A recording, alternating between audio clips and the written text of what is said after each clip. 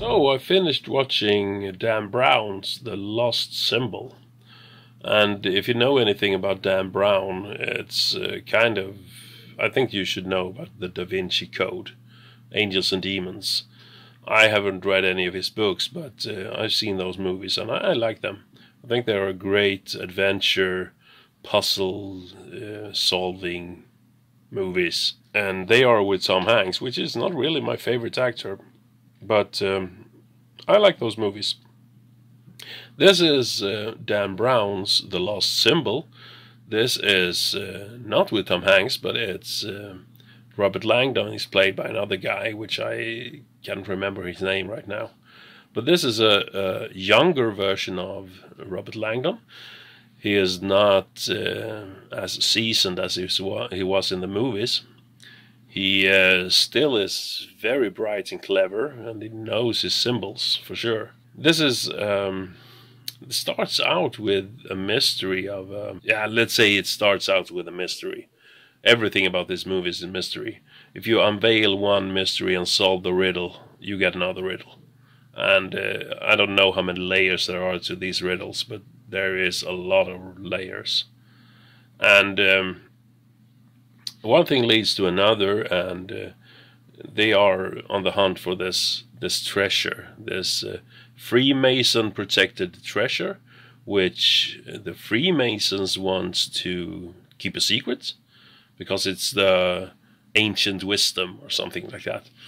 And on the same time, there is another guy, a villain, that uh, wants to to um, gather this wisdom to himself and uh, I can understand that if the wisdom means that you become God more or less. Yeah, it's a it's quite an appealing thought. No, not really, but um, that is the main plot, and uh, I don't know what more to say about it. There are so many riddles and so many puzzles, and uh, I, I I can honestly say that I did not follow all of these uh, riddles and solutions. I just took their word for it many times. Um, and I think that you should not think about it too much. I think there are a behind the scenes movie about this where where everything is explained in more detail. I haven't seen that, but I think there are. I think there are to both Da Vinci Code and Angels and Demons as well, so I wouldn't be surprised. This is uh, ended the series. It was just one season, which I think is a shame. I would have liked to have seen another season. There was an opening for it in the end. It was also a pretty good ending, I would say. But it was a cliffhanger ending in some way. So it, they could do a sequel to it. But then I guess the uh, the literary uh, material from Dan Brown does not exist. That's my guess. I don't know how much he has written about this particular case or this lost symbol mumbo jumbo. No, that's not mumbo jumbo, but uh, uh, you know what I mean. But there are definitely a possibility to continue this series with these characters at least. Maybe they need to write original scripts for it, but uh, it's possible to continue with it and um, I hope they do because I really enjoy this one. It was gruesome and it was not silly.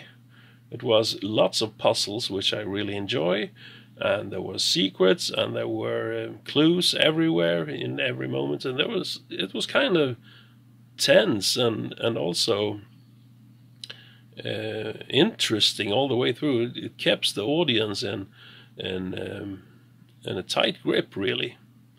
I would was really interesting to see this movie. So I would I hope that they continue it, but we will see. But until then, you can watch this review here, and please like and subscribe to my channel and help me grow. And I'll see you next time. Thank you.